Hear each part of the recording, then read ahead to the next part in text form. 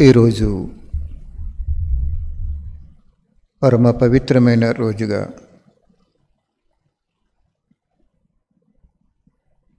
అవినాశి మరియు అద్భుతమైన రోజుగా అనంత ప్రాప్తిని ప్రసాదించే పవిత్ర రోజుగా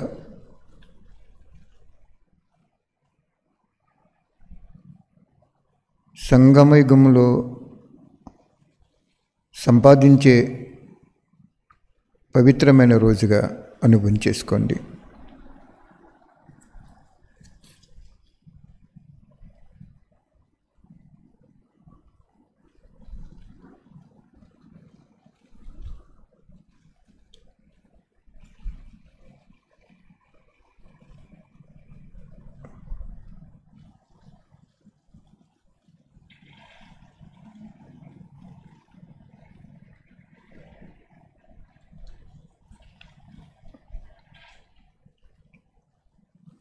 బంగారు వర్ణం గల ధామంలో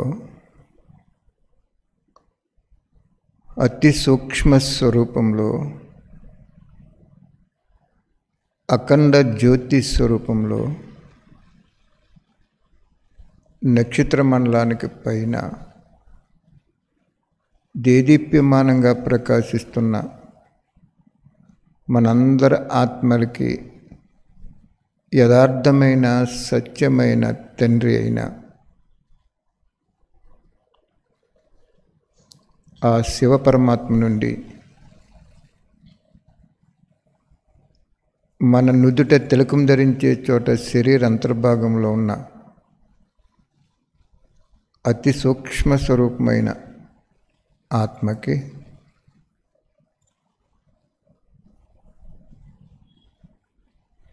ప్రవాహంలో ఒక దివ్య అలౌకిక దైవశక్తి ఆ పరంపిత నుండి వస్తున్నట్లు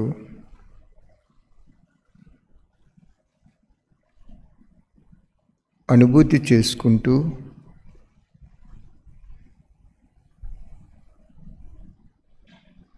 ఆ శక్తి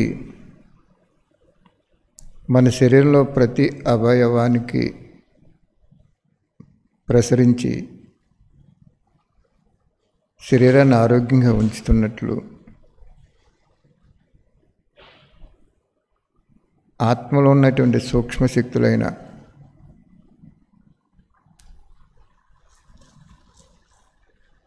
మనసుకి అద్భుతమైన శాంతిని అనుభవం చేస్తున్నట్లు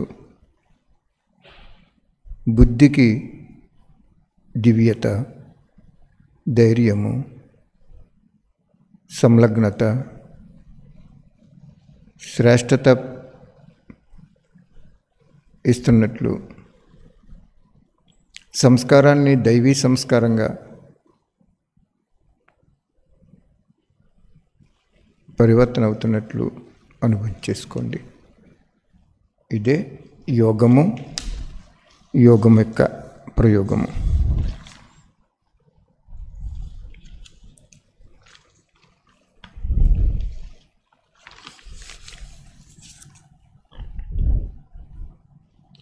బాబా చెప్తున్నారు.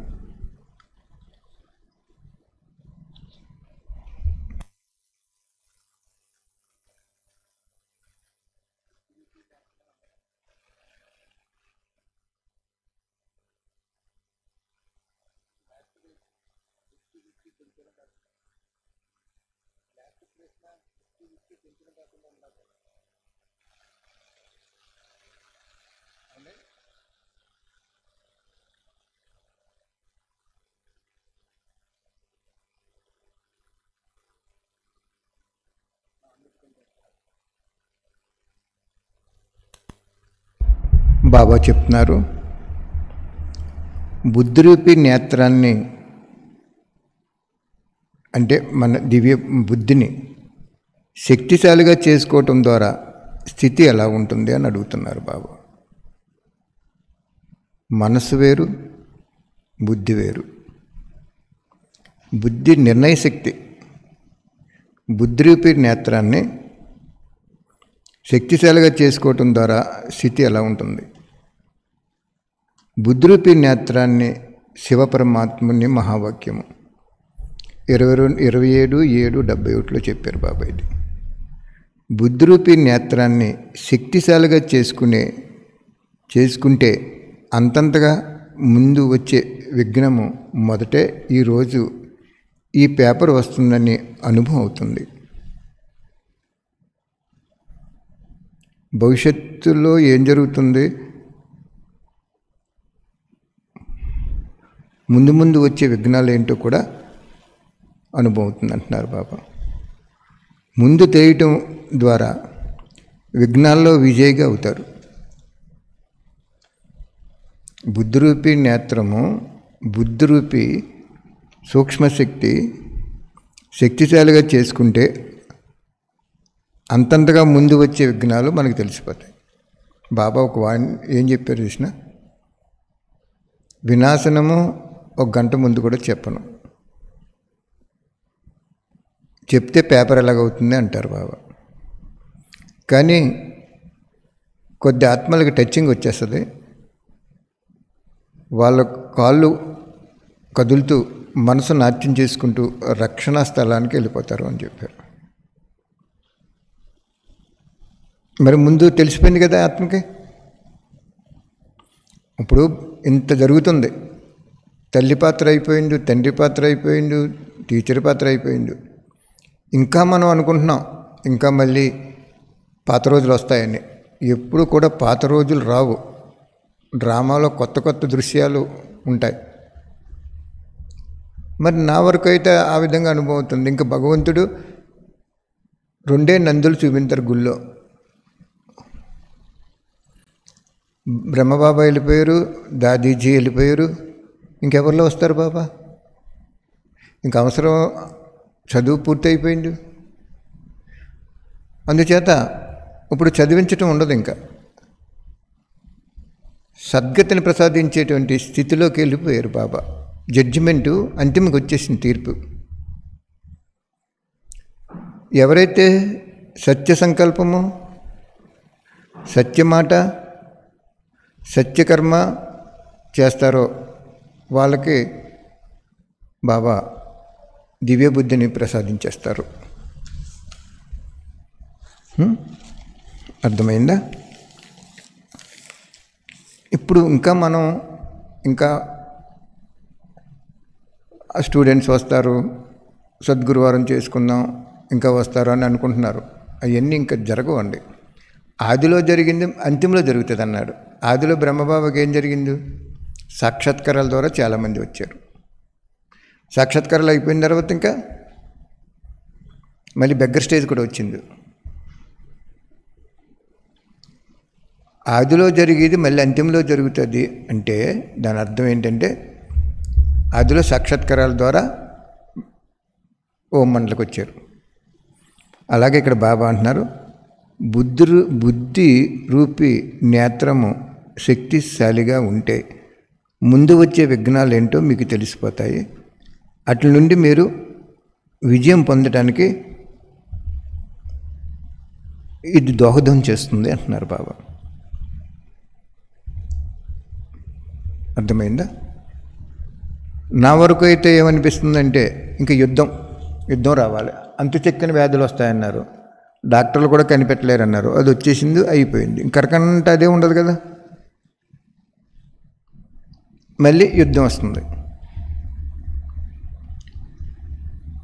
బ్రహ్మబాబాకి అదే చూపించారు శివబాబా. యుద్ధం చూపించారు. ఆ తర్వాత నక్షత్రాలు కిందకు వస్తున్నట్టు అవి దేవతా శరీరాల కింద మారి భూమి మీదకి వస్తున్నట్టు చూపించారు. ఆ దృశ్యం ఉంది. యుద్ధం వచ్చినప్పుడు మరి ఆబు పర్వతం క్యూ ఉంటుంది అన్నారు ఆ రెండే కనపడుతున్నాయి ఇంకా. చోటు వదిలేయండి అని చెప్పి మధువనం అంతిమ ట్రైన్లో వెళ్ళే వాళ్ళు ఉంటారు. అప్పుడు రోకలంత దారితో వర్షం కురుతుందండి అప్పుడు ఇంక మనం అసలు మనం ఆ రోకలంత దారితో వర్షం కురిసినప్పుడు మనం ఉండే ఉండం అది ప్రకృతి శుద్ధి చేసి క్లీన్ చేసుకుంటూ వెళ్ళిపోద్ది అది. అప్పటికే మనకి బాబా ఏం చెప్పాడు? శ్రీకృష్ణుడు జన్మ ఎప్పుడు జరుగుతుంది అన్నాడు మూడొంతులు జలమయం అయిపోవాలన్నాడు.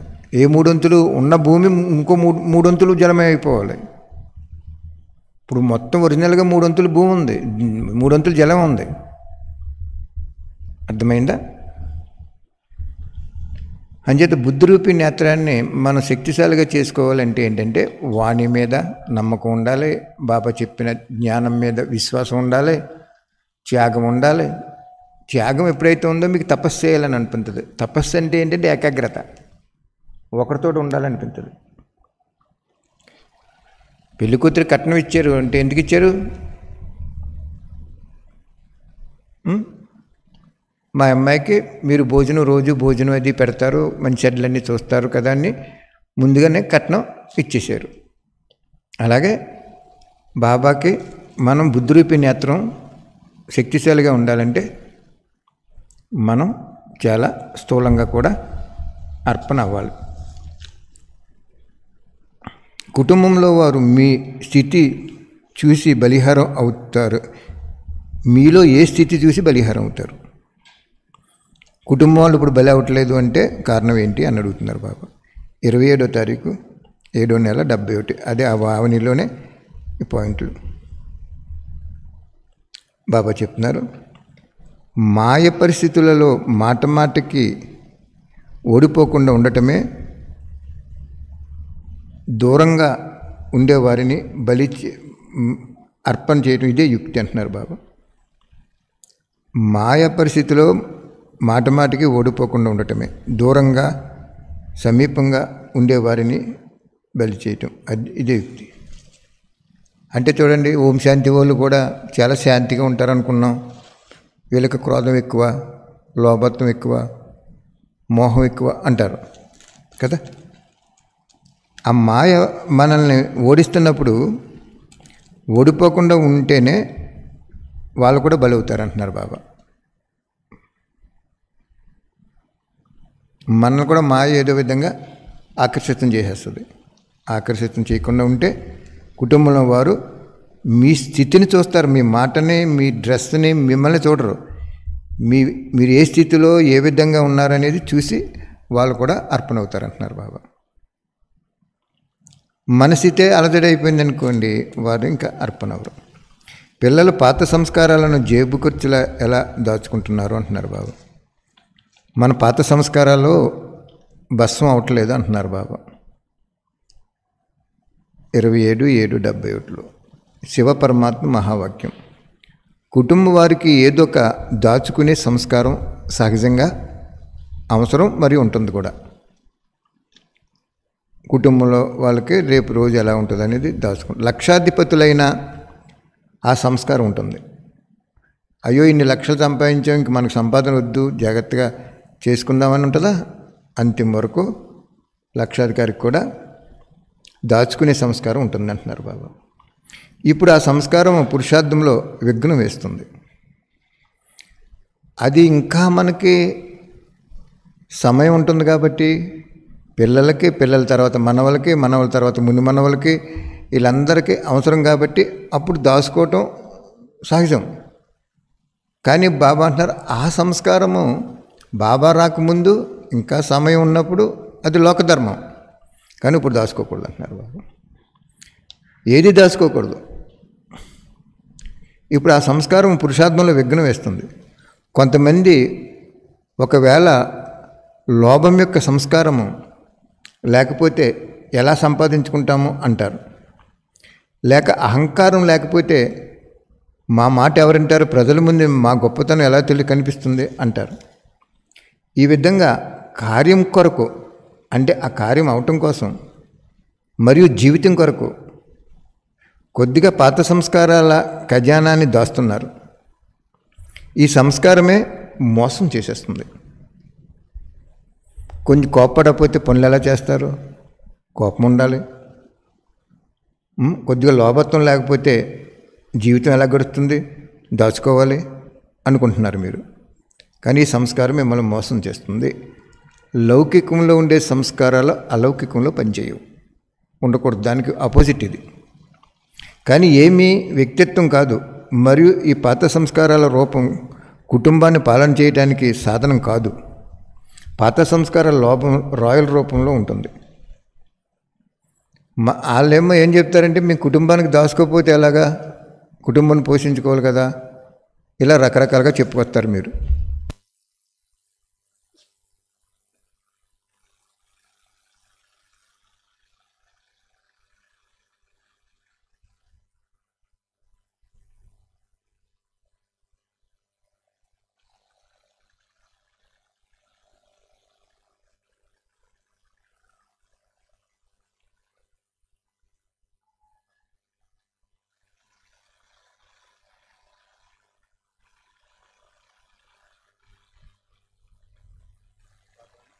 బాబా అంటున్నారు. కుటుంబంలో ఉంటున్నాం కాబట్టి కొద్దిగా లోపత్వం ఉండాలి కొద్దిగా కోపం ఉండాలి కొద్దిగా దాచుకోవాలి అనుకుంటున్నారు. కానీ బ్రహ్మ బాబాని ఫాలో అవ్వటం అన్నప్పుడు ఏదీ దాచుకోలేదు ఆయన. అది మిమ్మల్ని తప్పకుండా మోసం చేసేస్తుంది దాచుకోవటం అంటున్నారు బాబా. పాత సంస్కార రూపంలో కుటుంబాన్ని పాలన చేయటం సాధనం కాదంటున్నారు బాబు. సత్యమైన త్యాగం అని- దేన్ని అంటారు? బాబా మళ్ళీ ఇంకో వాణిలో చెప్తారు నీకు అంత భయం వేస్తుంటే సెవెంటీ ఫైవ్ పర్సెంట్ చేసుకో నువ్వు బాబాకి ట్వంటీ ఫైవ్ పర్సెంట్ ఉంచుకో అంటారు. ఒక్కోసారి ఏమంటారు నేను లోన్ ఇచ్చాను నీ శరీరంలోను సంబంధీకుల్ని సంభాళించడానికి ఇచ్చాను సంబంధీకుల్ని సంపా సంభాళించడానికి ఇచ్చాను కానీ వాళ్ళకి జోడించడానికి సంబంధం జోడించడానికి కాదు అంటారు బాబా. అలాగా? ఇంకా బాబా పిల్లలైన తర్వాత జేబు ఖర్చుకి ఎలా అయితే మనం దాచుకుంటామో అలాగే ఏది దాచుకోకూడదు అంటున్నారు బాబా. లోభత్వం కానీ కోపం కానీ దాచుకోవటం కానీ ధన దాసు ఏవి కూడా మనకి ఉండకూడదు అంటున్నారు బాబా. మారిపోవాలి. కోపం లేకపోతే వీళ్ళు ఎలా మాట్లాడతారు అనుకుంటారు. కోపము ఈశ్వరుడు సంపదని కాల్చేస్తుందని చెప్తారు బాబా. కోపం వచ్చినప్పుడు ఏమనమన్నాడు బాబా? కోపం వచ్చేసింది నీకు? నా బాబా నా శివ బాబా నా బాబా అనుకుంటూ మనసులో అనుకుంటూ ఆ స్థానం నుంచి తప్పుకున్నావు అనుకో మార్కులు వచ్చేస్తాయి నీకు. వాళ్ళు కోపడ్డారు అంచేత నేను కోపడ్డాను అంటే వాళ్ళు తప్పులో ఉన్నారు. మరి నువ్వు కూడా తప్పులో ఉండాలా? సత్యమైన త్యాగమని దేన్ని అంటారు అంటున్నారు బాబా? ఇరవై ఆరు ఒకటి డెబ్బై ఏడు. శివపరమాత్మ మహావాక్యం. త్యాగాన్ని కూడా త్యాగంగా భావించకుండా భాగ్యంగా అనుభవం చేసుకోవాలి. దాన్నే సత్యమైన త్యాగము అంటారు. నేను ఎంత త్యాగం చేసేసాను అని చెప్పుకోవటం సంకల్పంలో అనుకోవటం కొద్దిగా అహంకారం రావటం ఇది త్యాగం కాదు. సత్యమైన త్యాగం అంటే ఏంటి అని అంటున్నారు బాబా. త్యాగం చేసింది కూడా త్యాగం చేసాను అని నీకు సంకల్పం కూడా రాకుండా ఉండటమే సత్యమైన త్యాగం. ఒకవేళ సంకల్పంలో కానీ మాటలో కానీ నేను ఇంత త్యాగం చేశాను అనే భావన వస్తే దానికి భాగ్యం జమ అవ్వదు చూశారు బాబాయ్ అని చెప్తున్నారు.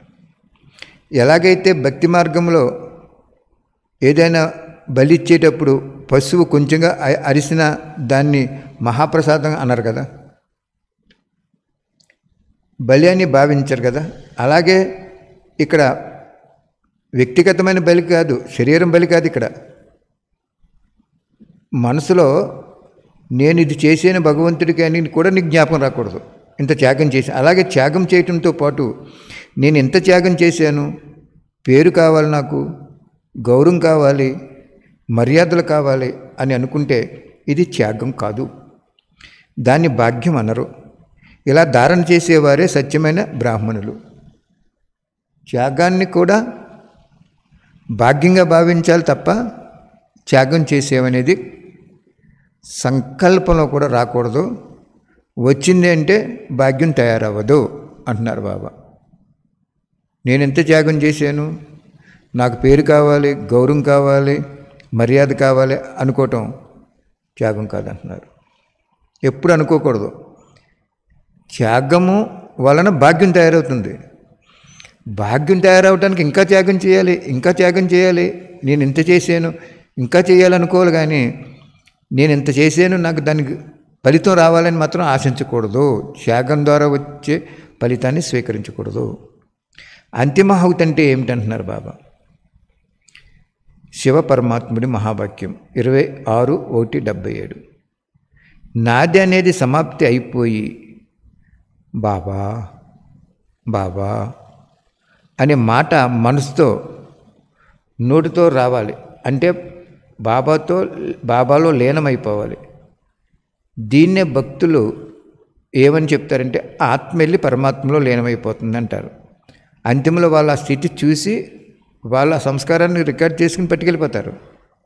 దీన్నే అంతిమ ఆహుతి అంటారు. బాబా అంటున్నారు అంతిమ ఆహుతి అంటే ఏమిటి? నాది అనేది సమాప్తి అయిపోయి బాబా బాబా బాబాది బాబాది అనే మాట మనసుతో మరియు మాటతో కూడా మనసుతో రావాలి. బాబా లేనం అయిపోవటం అంటే ఇది. దీన్ని భక్తులు ఆత్మ పరమాత్మలో లీనమైపోయిందని వాళ్ళు చెప్తారు. అంటే అంతిమలో కొంతమంది బాబా పిల్లలు ఆ స్టేజ్లోకి వచ్చేస్తారు. దీన్నే అంతిమ ఆహుతి అంటారు. అసలు మన పేరు కానీ పలానా సెంటర్ పలానా వాళ్ళది కానీ కానీ రాకూడదు. బాబాది. అన్ని సెంటర్లు బాబాయే. అందరూ బాబా పిల్లలే. లౌకికం వాళ్ళు అలౌకికం వాళ్ళు కూడా బాబా పిల్లలు యాక్చువల్గా. బాబా అంటున్నారు బాబా బాబా బాబాది బాబాది బాబా బాబా అని వస్తే మనసుతో వస్తే బాబా అంటున్నారు ఇంకా లీనమైపోతాం అంటున్నారు. దృష్టి ఉత్తి చెంచనం కాకుండా ఉండటానికి ఏ స్మృతి ఉంచుకోవాలి అంటున్నారు. ఒక్కోసారి మన దృష్టి చెంచనం అయిపోద్ది ఆలోచన కూడా చెంచనం అయిపోద్ది ఏం చేయాలి అటువంటి సమయంలో? అంటున్నారు బాబా. ఇరవై ఐదో తారీఖు ఎనిమిదో నెల డెబ్బై ఒకటిలో. శివపరమాత్మ మహావాక్యం. మనం ఏదైనా మందిరానికి వెళ్ళినప్పుడు మందిరంలోని చిత్రం ఎంత ఆకర్షణీయంగా లేక సుందరంగా అలంకరించినా ఎప్పుడైనా దృష్టిలో వారు సంతుష్టత లేక అలంకరణ వైపు సంకల్పం మాత్రంగా అయినా చెంచలం అవుతుందా? మరి అక్కడే ఒకవేళ ఏదైనా సినిమా లేక అటువంటి పుస్తకాలు ఆకర్షణ లే లేక అలంకరణ చూస్తే లేక ఏదైనా బోర్డు చూడగానే దృష్టి ఉచ్చును ఎందుకు చంచలం అవుతుంది ఈ విగ్రహం దేవత అనే స్మృతి వృత్తి దృష్టిని కూడా పవిత్రం చేసేస్తుంది. బాబా అంటున్నారు మనం సినిమా వాళ్ళ పోస్ట్ చూసామనుకోండి కొంచెం వికారంగా ఉన్నది అప్పుడు కూడా మనకు వృత్తి దృష్టి చంచలం అయిపోయింది కదా. అలాగే దేవుడి గుళ్ళోకి వెళ్ళినప్పుడు విగ్రహం చూసినప్పుడు మన వృత్తి దృష్టి పవిత్రం అయిపోతుంది అక్కడ చంచలం అవ్వదు అక్కడ వేరుగా ఉండదు అపవిత్రంగా ఉండదు. ఎవరితో మాట్లాడుతున్నా ఆత్మగా భావించడం ఇది మొదటి స్థితి.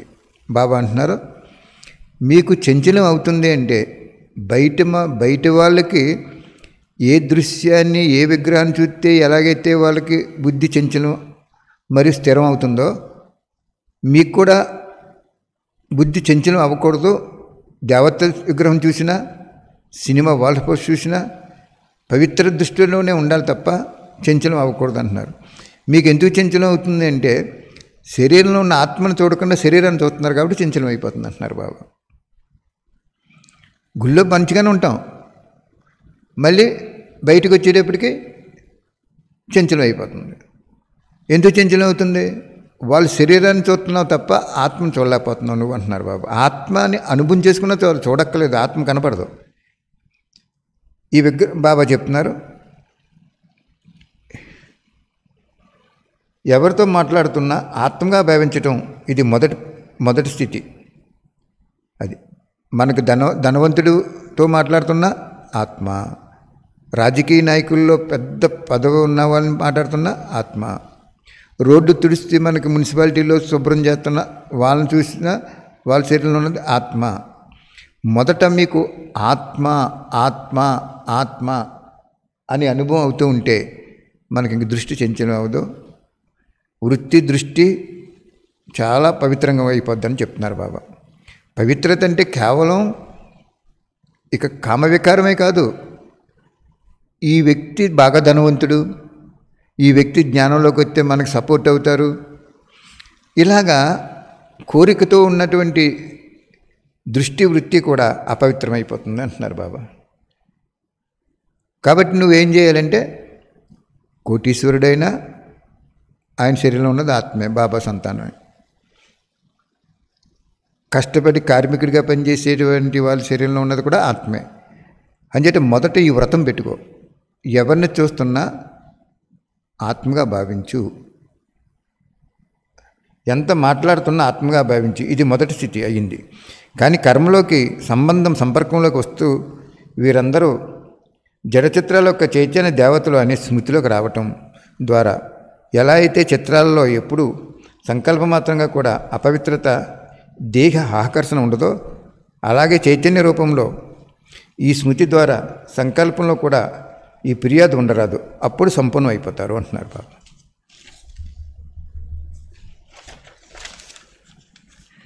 మన వృత్తి దృష్టి చంచలం అవుతుంది అంటే భిన్న భిన్న రూపాల్లో భిన్న భిన్న కోరికలతో. బాబా అంటున్నారు కారణం ఏంటంటే ఆత్మగా చూడట్లేదు బ్రహ్మబాబా ఏం చేసేవారు? రాసుకునేవారు ఆయన. యశోదాత్మ పలానా వాళ్ళ ఆత్మ మన దృష్టి మన ముందుకు ఎవరొచ్చినా బాబా ఏమంటున్నారంటే ఆత్మగా అనుభవం చేసుకో.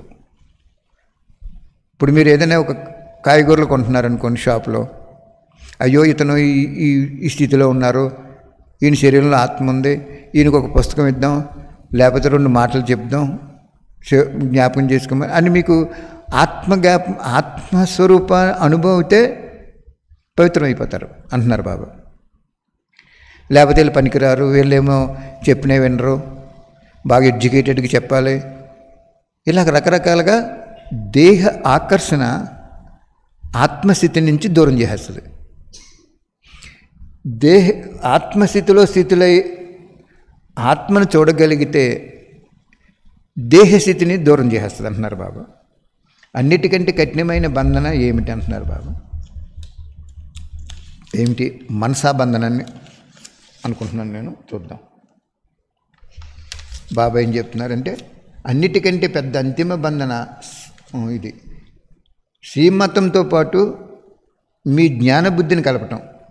అంటే తమను తాము తెలివైన వారిగా భావించి శ్రీమతాన్ని తమ బుద్ధి యొక్క అద్భుతంగా భావించి పనిలో ఉపయోగించటం. వీరినే జ్ఞాని అభిమాని బుద్ధి యొక్క అభిమాని అంటారు. ఇది అన్నిటికంటే పెద్ద బంధన అంటున్నారు. అది. అర్థమైందా? బాబా ఏం చెప్తున్నారు? అన్నిటికంటే పెద్ద అంతిమ బంధన శ్రీమతంతో పాటు శ్రీ అంటే శ్రేష్టమైన మతము ఎవరు చెప్పారు మనకి? శివబాబా చెప్పారు. మీ జ్ఞానబుద్ధిని కలపటం అంటే తమను తాము తెలివైన వారిగా భావించి శ్రీమతాన్ని తమ బుద్ధి యొక్క అద్భుతంగా భావించి పనిలో ఉపయోగించటం వీరినే జ్ఞాని అభిమాని బుద్ధి అభిమాని ఇది అన్నిటికంటే పెద్ద బంధన.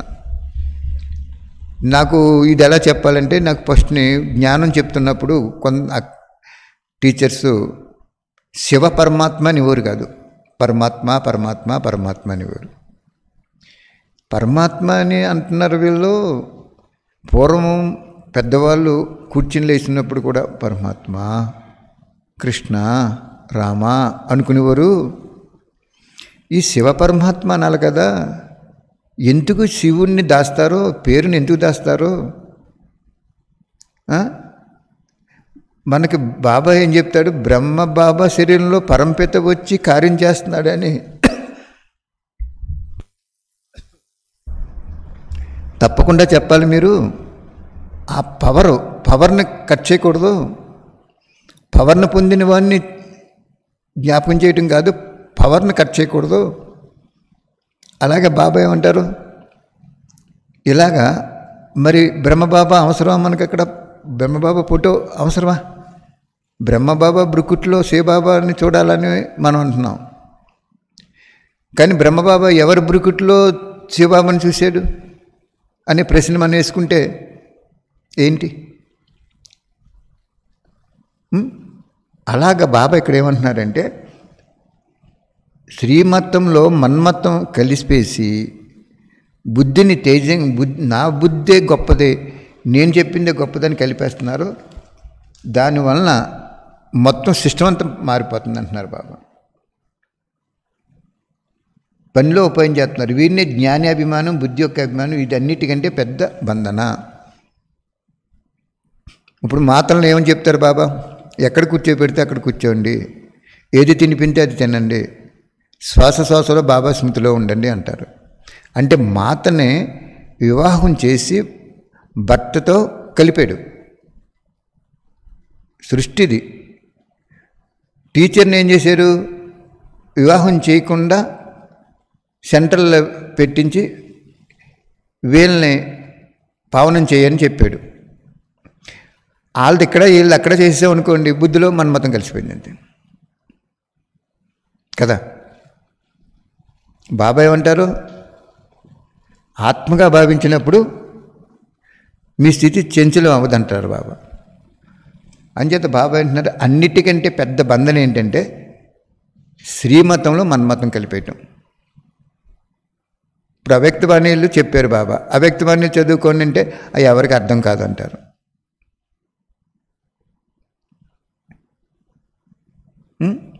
ఇంటి దగ్గర కూడా ఆ ఇంటి వాళ్ళని కూడా పరివర్తన చేయండి.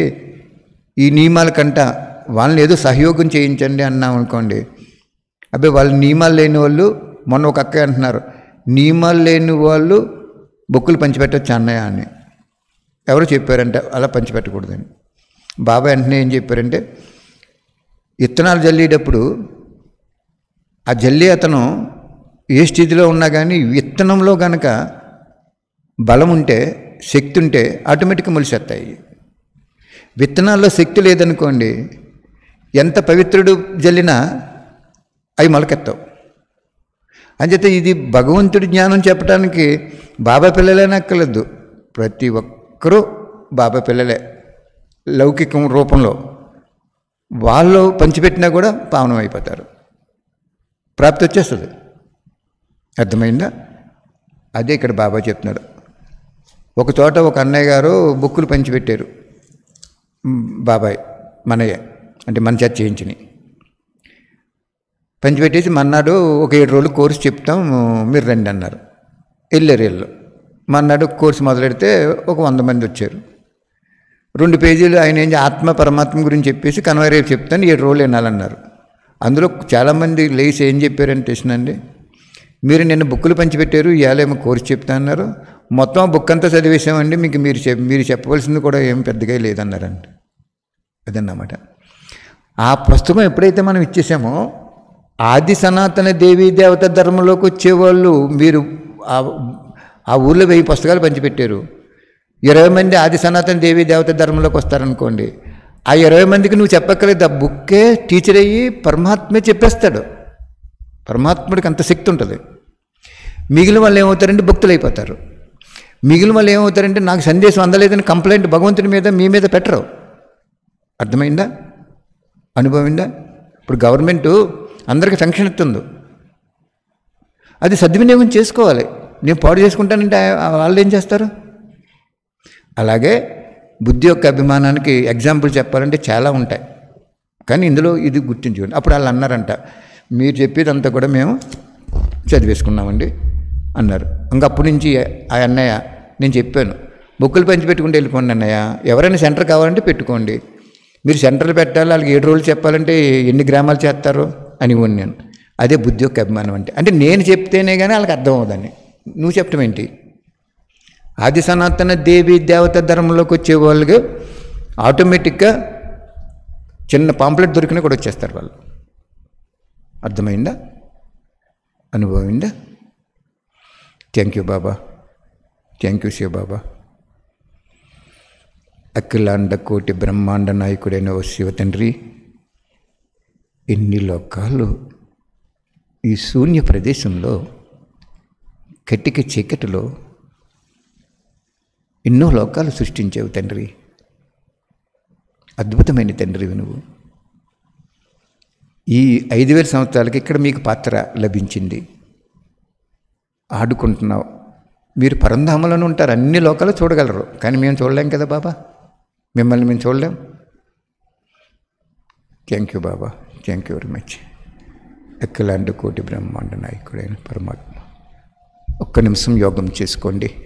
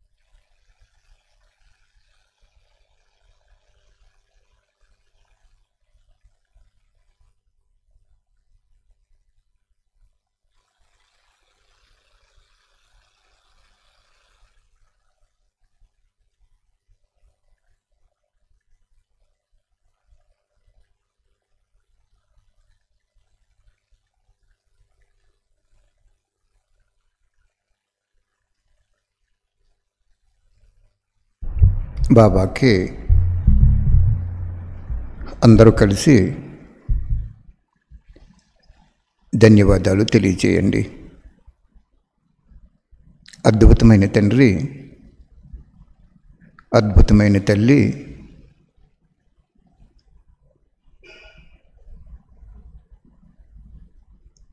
స్వర్గభాగ్యాన్ని ఇచ్చే తండ్రి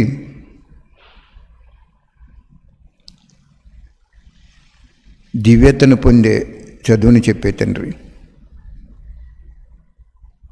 కాబట్టి ఈరోజు బాబా మనకి ఎన్నో వా- వాక్యాలు తెలియజేశారు.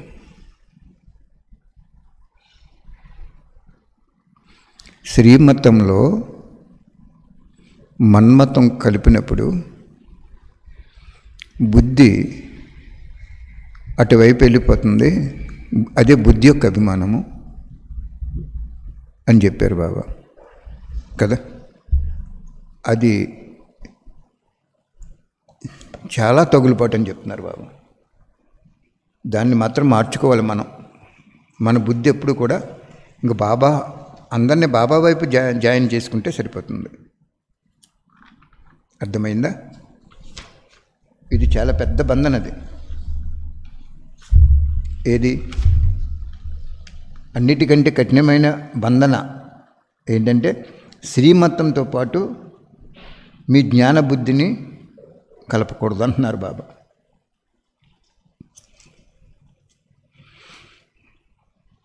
అంతగా ఎప్పుడు కూడా మనం భగవంతుడు శ్రీమతను ఏది చెప్పాడో అది తప్ప తప్పకుండా చూసా చేసి చూపించాలి. ఏం చెప్పారు? ఆది అనాది నియమం ఏంటంటే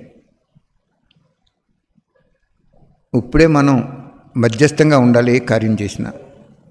స్వయానికి స్వయం ఎప్పుడు సిద్ధి చేసుకోకూడదు. తర్వాత ఒకటికి లక్ష రెట్లు ప్రాప్తి మరియు పశ్చాత్తాపం కూడా అని చెప్పారు బాబా. ఆ మూడు జ్ఞాపకం ఉంచుకోవాలి. Thank you Baba. రోజు ఇలాగా చేసుకుందాం. తర్వాత ఈరోజు సేవా సమాచారం ఏంటంటే బాబా కొద్దిగా టైం ఇస్తున్నారు మనకి. ఆ మహానుభావుడు అందరినీ బుక్స్ పంచిపెట్టుకోండి అని చెప్పింటున్నారు బాబా. ఒక చోట నుంచి పదివేలు ఒక చోట నుంచి పదివేలు ఆర్డర్స్ వచ్చినాయి.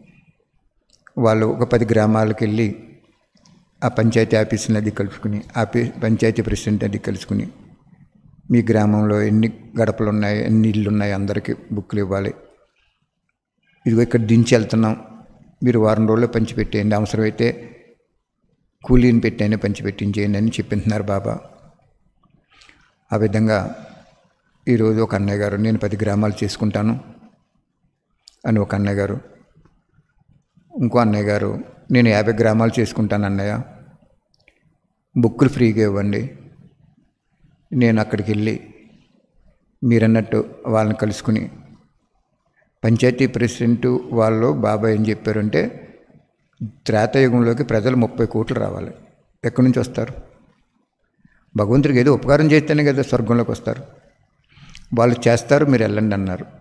ఒక అన్నయ్య ఏమన్నారంటే నేను యాభై గ్రామాలు చేసుకుంటాను. గ్రామానికి వెయ్యి బుక్కులు కింద కాబట్టి యాభై వేలు బుక్కులు నువ్వు ఇవ్వాలన్నయ్య అన్నారు. తప్పకుండా ఫ్రీగా ఇస్తారు బాబా అన్నారు. ఆయన ఏమన్నాడంటే బుక్కుకి ఒక రూపాయి ఖర్చు అవుద్ది నాకు. బుక్కుకి ఆ గ్రామం వెళ్ళి ఆ పెద్దని కలుసుకుని ఆ ప్రెసిడెంట్ గారిని అయ్యా వెయ్యి గడపలు ఉన్నాయి కదా వెయ్యి బుక్కులు ఫ్రీగా ఇస్తున్నాం మేము భగవంతుడు ఇప్పిస్తున్నాడు మీకు. మీరు కూడా ఇదిగో మేము బుక్కి రూపాయి చొప్పున ఇచ్చేస్తున్నాం. ఎవరినైనా పెట్టి పంచిపెట్టించేయండి. మరి మేము అన్నీ పంచలేము కదా అని ప్రేమతో చెప్పమన్నారు బాబా. అలాగా ప్రేమతో చెప్తే సులువుగా కార్యం నెరవేరిపోద్ది. మీరు అలా పంచిపెట్టరేమో అనే సంకల్పం మీకు వస్తుందో. ఇందాక అదే చెప్పాడు కదా శ్రీమతంలో మన్మతం మిక్సింగ్ అవ్వకూడదని. పంచిపెట్టరు అనేది మన సంకల్పం రావటం కామనం. కానీ బాబా ఏం చెప్పాడు అటువంటి సంకల్పం వస్తుందని వాళ్ళు ముప్పై కోట్లలోకి ముప్పై తాతయ్యకు ముప్పై కోట్ల ప్రజల్లో వచ్చేస్తారు.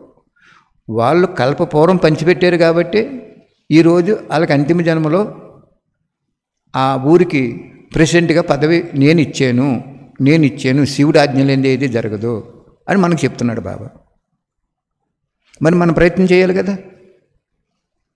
ఇప్పుడు మనం పంచిపెడదామంటే పది గ్రామాలు పంచిపెట్టాలంటే ఎక్కడ పంచిపెట్టగలుగుతాం మనం రోజు? మనకు కూడా ఎంతో ఖర్చు అవుతుంది. అందుచేత ఎవరికైనా అన్నయ్య నేను ఈ నాలుగు గ్రామాలు పంచిపెట్టుకుంటాను. ఆ ప్రెసిడెంట్ గారి దగ్గరికి వెళ్తాను నాలుగు గ్రామాలు పంచిపెట్టుకుంటాను. నాకు బుక్కులు ఫ్రీగా ఇస్తావా? అవసరమైతే ఆ రూపాయి కూడా నువ్వు ఇస్తావా? అంటే బాబా మీకు లేకపోతే బాబా ఆ డబ్బులు కూడా ఇస్తారు. మీకు ట్రాన్స్పోర్ట్ ఖర్చులు ఇస్తారు. బుక్కులు ఫ్రీగా ఇస్తారు. అక్కడ వాళ్ళు ఏదైనా వర్కర్ని పెట్టి పంచిపెట్టడానికి బుక్ కింద ఇచ్చినా కూడా ఇస్తారు. ఎందుకంటే మన దగ్గర అయిపోయి కొలిది డబ్బు వచ్చేస్తుంది మీకు సీక్రెట్ తెలియదు చెప్తున్నాను వినండి. జ్ఞానధనం ఉన్న తో చోట జ్ఞాన అనే ధనం ఉన్న చోట అంటే జ్ఞానం. స్థూల ధనం దాసే అవుతుంది అన్నాడు మీ జీవితంలో రాసుకోండి అది ఓ డైరీలో. జ్ఞానధనం ఉన్న చోట స్థూలమైన ధనము దాసి వల్లే వచ్చేస్తుంది అని. దాచుకుంటే రాదు. దాత అయితే వచ్చేస్తుంది. అంచేత బాబా ఈరోజు మీ అందరికీ చెప్పించేది ఏంటంటే బుక్లు ఫ్రీ. ట్రాన్స్పోర్ట్ ఖర్చులు కూడా పెట్టుకోలేమన్నయ్య ఫ్రీ. అక్కడ బుక్కి రూపాయి అర్ధ రూపాయి ఇమ్మంటున్నారు అది కూడా ఇచ్చుకోలేమన్నయ్య బాబా అది కూడా ఫ్రీ. మీరు శరీరాన్ని ఉపయోగించి అక్కడికి వెళ్ళి మాట్లాడి పట్టుకెళ్ళి పని కూడా ఇచ్చేయండి తీసేసుకుంటారు. అలాగ మరి త్వర త్వరగా మళ్ళీ ఇంకే ఉపద్రవాలు రాకుండా కొంత టైమే మనకి ఇచ్చాడు కాబట్టి బాబా ఎవరెవరు ఒబ్బుడు చేస్తారో వాళ్ళు మీరు ఫోన్లు చేసి ఆ కార్యక్రమాన్ని సద్వినియోగం చేయండి. దేవుడి పెళ్ళికి అందరూ పెద్దలే అంటారు కదా. చేసేయండి. ఇంకా పాతిక లక్షలు అవ్వాలి. అప్పుడే మనకి రెండు లక్షల వరకు ఆఫర్స్ వచ్చేసినాయి. బాబా ధనం కూడా ఇచ్చారు. కాబట్టి మీరు ధనానికి శంకించొద్దు. వాళ్ళు పంచి పెడతారో లేదని కూడా శంకించొద్దు. పంచి పెట్టరు నాలుగు గ్రామాలు ఇచ్చారు మీరు. ఒక ఒక పదిహేను రోజులు ఆగుతాం మనం. ఫోన్ నెంబర్ తీసుకుంటాం. ఏమండి పంచారా బాబు ప్రెసిడెంట్ గారండి పంచారండి మీ గ్రామము పుణ్యం పుణ్యగ్రామంగా అవ్వాలండి భగవంతుడి పుస్తకం ద్వారా. అలాగ మీరు ప్రేమతో మనసుతో బాబాను ప్రత్యక్షం చేయాలి. పని అయిపోతుంది. Thank you Baba. అంచేత ఈరోజు ఒక ఇరవై వేల పుస్తకాలు ఒక అన్నగారు యాభై వేలు చెప్పారు. ముందు పదివేలు పంపించండి. అలాగ పదిహేసి వేలు పదిహేసి వేలు చొప్పున యాభై వేలు చేసుకుంటాను యాభై గ్రాములు చేసుకుంటానని చెప్పారు. పేర్లు కావాలి అన్నా కూడా నేను చెప్పగలను కానీ అది మంచి పద్ధతి కాదు. ఒక వ్యక్తిని మనం ఒక బాబా పిల్లల్ని ఫలానా అని ఫోకస్ చేయకూడదు. అది గుప్త దానమే మహాదానం అంటారు. గుప్తంగా చేయటమే బాబాని ప్రత్యక్షం చేయటం. ఓకే? కాబట్టి మీరు కూడా వంద బుక్కులు కావాలన్నా బాబా ఇస్తారు. అన్నయ్య నేను వంద బుక్కులే మా బంధువులు అందరికీ ఇచ్చుకుంటాను. పది మంది ఉన్నారు. ఒక బంధువుకి పది బుక్కులు ఇచ్చుకుంటాను. ఒక వంద ఇస్తారా? ఓకే పంపిస్తారు బాబా. గుర్తించుకోండి నేను అదే నిర్ణయం పెట్టుకున్నాను. జ్ఞానధనం ఉన్న చోట స్థూలమైన ధనము దాసి వెళ్ళే మన వెంట ఊరికే వచ్చేస్తూ ఉంటుంది. అది మనం దాచుకున్నాం అనుకోండి ఇంక రాదు. దాన్ని ఆ దాసి వలె వచ్చిన దాన్ని దానం చేసుకుంటే వెళ్ళామనుకోండి బాబా ప్రత్యక్షత కోసం ఆ ధనాన్ని విలువ లేకుండా జ్ఞానానికి విలువిచ్చి జ్ఞానం ప్రసారంగా చేసుకుంటూ వచ్చామనుకోండి మీరు సంపన్నం అయిపోతారు బాబా ప్రత్యక్షమైపోతారు. ఈ దుఃఖమయ ప్రపంచము సుఖమయ ప్రపంచం కింద శ్రీకృష్ణుడు పుడుతున్నాడని సాక్షాత్కారం అయిపోతుంది. చాలా వండర్ఫుల్ అద్భుతమైనటువంటి దృశ్యాలు మీరు చూస్తారు. ఇది పరమసత్యం బాబా చెప్పిన నీతి నిజాయితీతో కూడిన ఒక అద్భుతమైన సంస్కారాలు కలుపుకునే సేవ ఇది. మనకి ఇంకెవ్వరు శత్రువులు లేరు. బాబా పిల్లలు అందరం అక్కయ్యలు అన్నయ్యలు దాది దీదీలు బయటి వాళ్ళు భక్తులు మత పీఠాధిపతులు ధర్మ ధర్మ ఏ ధర్మంలో ఉన్న వాళ్ళందరూ బాబా పిల్లలు మన సోదరులు. వాళ్ళకి ఏదో ఒక రూపంలో సందేశం అందాలి. Okay Baba thank you Baba. Thank you very much ఎన్ని లోకాలు అయితే ఉన్నాయో అన్ని లోకాలలో ఉన్నటువంటి ఆత్మ తరపుని ప్రకృతి తరపుని తర్వాత మూగజీవులైన ఆ మూగజీవుల తరపుని జీవరాశుల తరపుని శతకోటి లెక్కలేనన్ని ధన్యవాదాలు. Thank you Baba. Thank you very much మీరే సహకరించండి. ఎన్నో ఐడియాస్ ఇవ్వండి మాకు. మీరు దగ్గరుండి నడిపించుకోండి. Thank you Baba. Thank you